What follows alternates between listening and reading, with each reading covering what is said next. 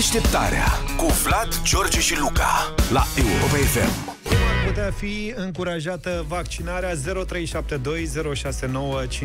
Așteptăm uh, telefoanele voastre. Persoanele care se vaccinează împotriva COVID-19 ar putea beneficia la cerere de o zi liberă, potrivit unui proiect de lege care a fost depus uh, săptămâna trecută de către doi deputați USR Plus și opțiunile sunt cam așa. O zi liberă plătită care e în afara concediului de odihnă, în ziua vaccinării în cazul angajaților, sau o zi de scutire în ziua vaccinării la studenți, militari, elevi, mă rog, elevii care pot să se vaccineze.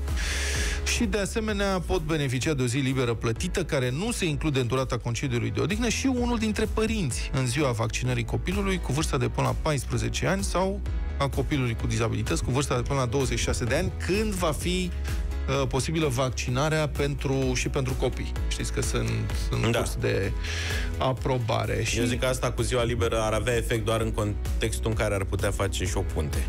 Dacă n-are punte, nu prea e... Adică să poți, dacă te vaccinezi Cred că e la marțea, ale- să-ți iei și luni. E la alegere, măi. Ce rău ești. Avem multe mesaje, multe apeluri. Hai să începem cu mesajele.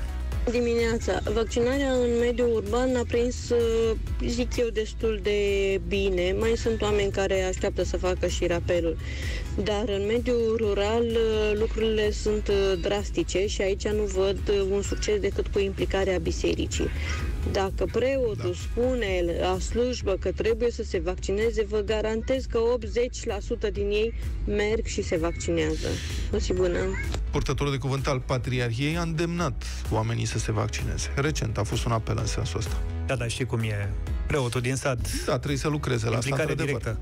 Mhm, E un Eu la influencer societatea, puternic. Sigur. Zi. eu la societatea care o dețin am oferit câte 100 de lei fiecărui angajat care vine și îmi dovedește că a făcut prima și a doua doză. Foarte bună observație. Mediul privat poate să ofere din proprie inițiativă astfel de bonusuri și nu există nicio lege, din câte știu, nu există nicio lege care să um, oprească sau să interzică oferirea de bonusuri de acest gen. Și este un model care este destul de răspândit în, uh, în Statele Unite, de pildă.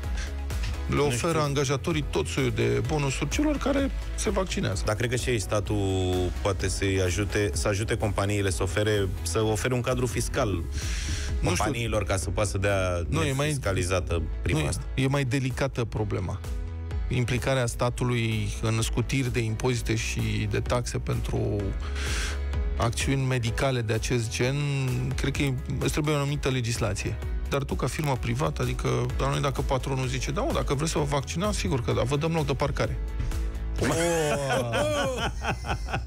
Iată băieți, știți ce cred că ar merge foarte bine?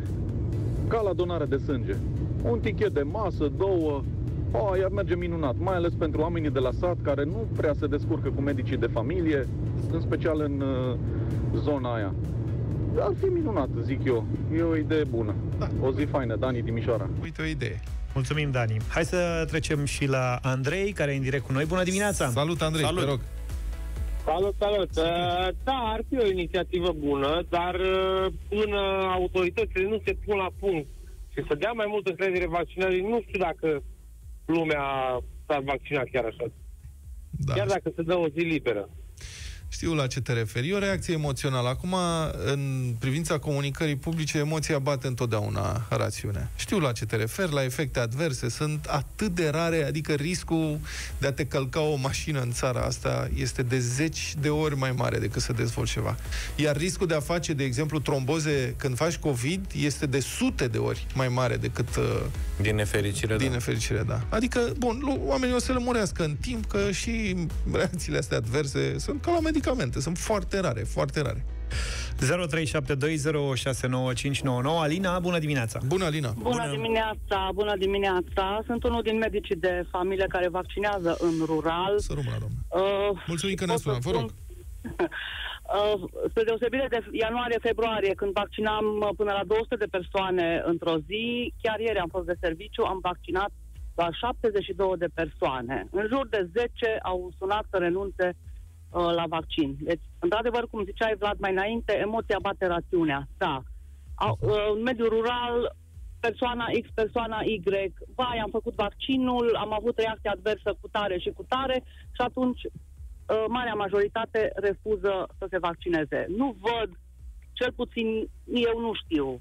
Am de, vorbi, am de vorbitorii mei au uh, dat o, o serie de idei. Nu văd cum să îi uh, determinăm uh-huh. Uh, să se vaccineze. Din păcate, nu avem educație sanitară. Uh-huh. Vedeți că nici la vaccinarea sugarilor nu se înghesuie. Deci aici Poate avem medicii... o problemă majoră. Da, nu știu dacă în e... sensul ăsta. Da, aici nu știu uh, dacă putem vorbi despre a determina oamenii, ci a încuraja să se vaccineze. Da, Cred exact, că merge prin da, explicații bine. în primul rând, adică poate și medicii de familie se pot organiza în mediul rural, să facă întâlniri la căminul cultural, de ce nu, cu locuitorii, să le explice și să le răspundă la întrebări, iar în privința încurajării efective a vaccinării, cred că certificatul de vaccinare trebuie să capete o utilitate, adică să-ți permită accesul în anumite locuri, da? Um, și în rest, nu știu ce să spun. Cred că astfel de inițiative cu o zi liberă sunt bune, nu cred că au cum să strice.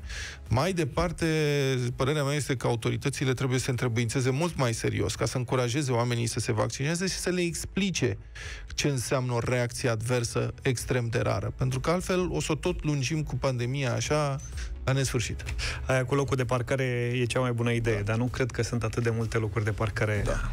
Iar am vorbit prea mult. Mulțumim Iar foarte mult da. pentru telefoane. S-a închis? Cam, da. da. Bine. N-avem ce face. S-a cam închis de data asta. Deșteptarea cu Vlad, George și Luca la Europa FM.